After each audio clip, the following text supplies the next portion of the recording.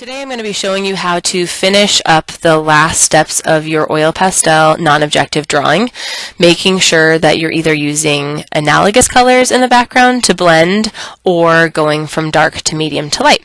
So here I am just finishing up the back couple spaces and I'm choosing either, for this one I'm choosing a dark blue, a light blue, and then the white to blend it. So I'm just finishing, making sure that I'm putting color onto all of the white spaces, smoothing out my areas, making sure that no scratchy, rough textures are left over. You want this to look smooth and finished.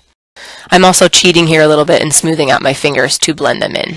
Now for the very last step, you're going to take your black oil pastel in your kit and you're just going to very carefully pull the oil pastel towards you and draw in long, smooth lines on every single pencil line that we did. So that includes all of the circles that we originally did, that includes the background sections that we divided. So pretty much every time that you switch colors, you're basically outlining all those pencil lines that we did.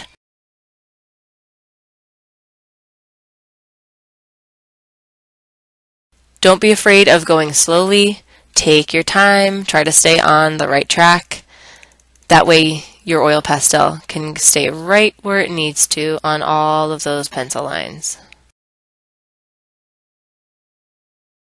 When you're done, make sure you turn this into the cheetah tray.